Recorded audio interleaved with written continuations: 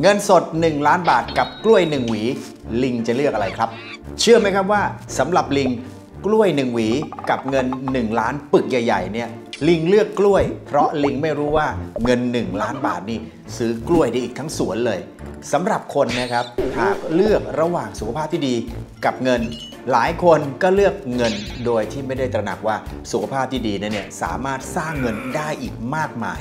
สำหรับคนที่กำลังซื้อประกันชีวิต ถ้าให้เลือกระหว่างเอาเงินไปซื้อประกันชีวิตกับเอาเงินไปซื้ออย่างอื่น ตอนเหตุการณ์ปกติดีเนี่ยคนก็มักจะเลือกเอาเงินไปซื้ออย่างอื่น โดยที่ไม่ได้ตระหนักว่า ถ้าหากเกิดปัญหาขึ้นมาหัวหน้าครอบครัวผู้หารายได้ต้องจากไปก่อนแล้วไม่มีประกันชีวิต ตอนนั้นแหละครับถึงจะรู้ว่าประกันชีวิตนั้นจำเป็นต้องทำทันทีที่มีโอกาส แต่ก็ไม่ทันการแล้ว ความเสี่ยงก็เหมือนกับอากาศแหละครับ มันมีอยู่แต่คุณก็มองไม่เห็น และมันจะเกิดขึ้นเมื่อใดก็ได้